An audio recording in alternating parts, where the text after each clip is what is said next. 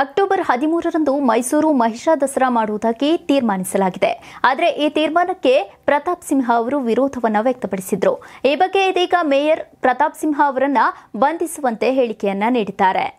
ಇನ್ನು ಇದರೊಂದಿಗೆ ಮೈಸೂರು ಮಹಿಷಾ ದಸರಾ ಅನೇಕ ತಿರುವುಗಳನ್ನು ಪಡಿತಾ ಇದೆ. ಅದರೆಲ್ಲ ಕಂಪ್ಲೀಟ್ ಡೀಟೇಲ್ಸ್ ಅನ್ನ ಇಲ್ಲಿ ಕೊಡ್ತೀವಿ. ಅಕ್ಟೋಬರ್ ಹದಿಮೂರರಂದು ಮಹಿಷಾ ದಸರಾ ಆಚರಣೆ ಮಾಡುತ್ತಿದ್ದೇವೆ. ಮಹಿಷಾ ದಸರಾ ಮುಗಿಯುವವರೆಗೂ ಸಂಸದ ಪ್ರತಾಪ್ ಸಿಂಹ ಅವರನ್ನ ಬಂಧಿಸಿ ಎಂದು ಮಾಜಿ ಮೇಯರ್ ಪುರುಷೋತ್ತಮ ಹೇಳಿದ್ದಾರೆ.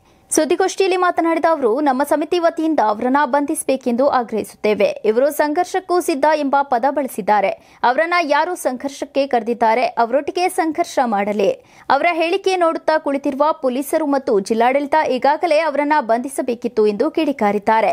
ಸಂಸದ ಪ್ರತಾಪ್ ಸಿಂಹ ತಮ್ಮ ರಾಜಕೀಯಕ್ಕಾಗಿ ಚಾಮುಂಡಿ ಚಲೋ ಕರೆ ನೀಡಿದ್ದಾರೆ. ನಾವು ಚಾಮುಂಡಿ ವಿರೋಧಿಗಳಲ್ಲ. ಪ್ರತಾಪ್ ಸಿಂಹ ಅವರಂತಹ ಸಂಸದರನ್ನ ನಾನು ಕಂಡಿಲ್ಲ. ವೈಯಕ್ತಿಕ ದ್ವೇಷಕ್ಕಿಳಿಯುವುದು ನಮ್ಮ ಮನಸ್ಥಿತಿಯಲ್ಲ. ಹೀಗಾಗಿ ನಾವು ಯಾವ ಸಂಘರ್ಷಕ್ಕೂ ಇಳಿಯದೆ ಕಾರ್ಯಕ್ರಮ ಮಾಡುತ್ತೇವೆ ಎಂದು ಹೇಳಿದರು. ನಾವು ಬೇರೊಬ್ಬರ ಭಾವನೆಗೆ ಧಕ್ಕೆ ತರುವ ಪ್ರಯತ್ನ ಮಾಡುವುದಿಲ್ಲ. ಅವರ ಪಾಡಿಗೆ ಅವರು ಪ್ರತಿಭಟನೆ ಮಾಡಿದ್ರೆ ಮಾಡಿಕೊಳ್ಳಲಿ. ನಾವು ನಮ್ಮ ಪಾಡಿಗೆ ಕಾರ್ಯಕ್ರಮ ಮಾಡುತ್ತೇವೆ ಎಂದು ಹೇಳಿದ್ದಾರೆ.